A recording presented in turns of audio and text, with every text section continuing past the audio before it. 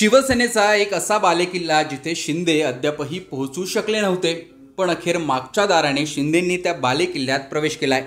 एक मोठा आमदार शिंदेंनी आपल्या गटात घेत शिवसेनेच्या त्या बालेकिल्ल्यालाच सुरुंग लावायचं काम केलंय.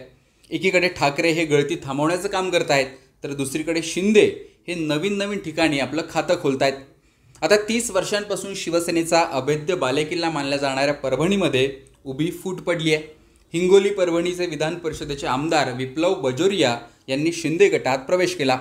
महाराष्ट्रातील सर्वात तरुण विधान परिषद सदस्य म्हणून त्यांना ओळखलं जातं. अकोल्याचे माजी विधान परिषद सदस्य गोपीकिशन बजोरिया यांचे ते पुत्र आहेत.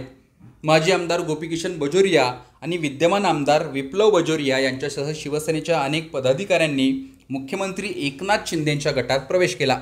त्यामुळे अकोला आणि हिंगोणी परभणी या दोन्ही ठिकाणी शिवसेनेला दणका देण्याचं काम शिंदेंनी केलं आहे विधान परिषदेवर निवडून जाणं म्हणजे मागच्या दाराने प्रवेश करणं असं राजकारणात म्हटलं जातं.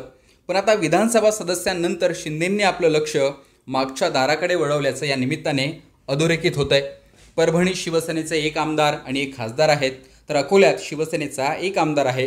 हे तिघेही सध्या ठाकरेंसोबत आहेत.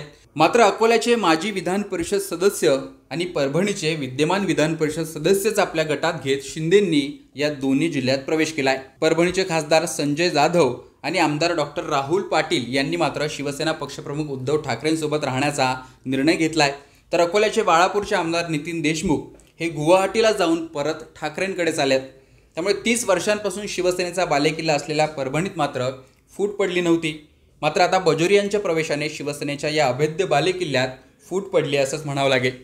त्यामुळे आता ठाकरेंकडून गळती थांबवण्याचं काम सुरू असताना शिंदे मात्र नवीन नवीन ठिकाणी शिवसेनेला भगदड पाडताना दिसत आहेत आता ही गळती ठाकरे कशी थांबवणार आणि शिंदे आणखीन किती ठिकाणी भगदड पाडणार हा प्रश्न शिवसेनेत अनेकांना पडलेला दिसतोय.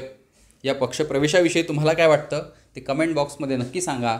लोकमतचं यूट्यूब चॅनेल सबस्क्राईब केलं नसेल तर नक्की सबस्क्राईब करा. फेसबुकवर हा व्हिडिओ पाहत असाल तर लोकमतच्या फेसबुक पेजला देखील फॉलो आणि लाईक करा. हा व्हिडिओ नक्की शेअर करा. व्हिडिओ पाहिल्याबद्दल धन्यवाद.